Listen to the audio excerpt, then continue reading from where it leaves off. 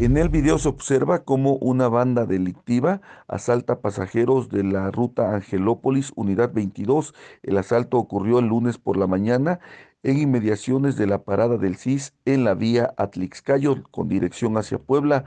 Elementos de la policía estatal lograron intervenir y lograron la detención de tres de los delincuentes, dos mujeres adultas y un hombre menor de edad. Se presume que al menos otro delincuente logró escapar. Los delincuentes ya están a disposición de las autoridades ministeriales.